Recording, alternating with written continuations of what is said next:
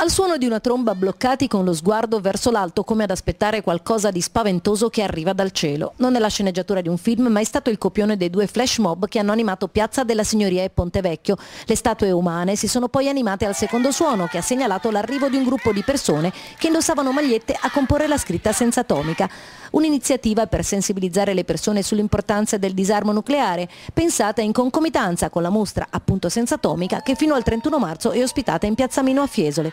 Una mostra a ingresso gratuito organizzata dall'Istituto Buddista Soka Gakkai nell'ambito di una campagna internazionale che sostiene l'elaborazione e l'adozione di una convenzione internazionale sulle armi nucleari per il disarmo nucleare totale. La mostra è già stata esposta in 26 comuni d'Italia e visitata da oltre 120.000 persone.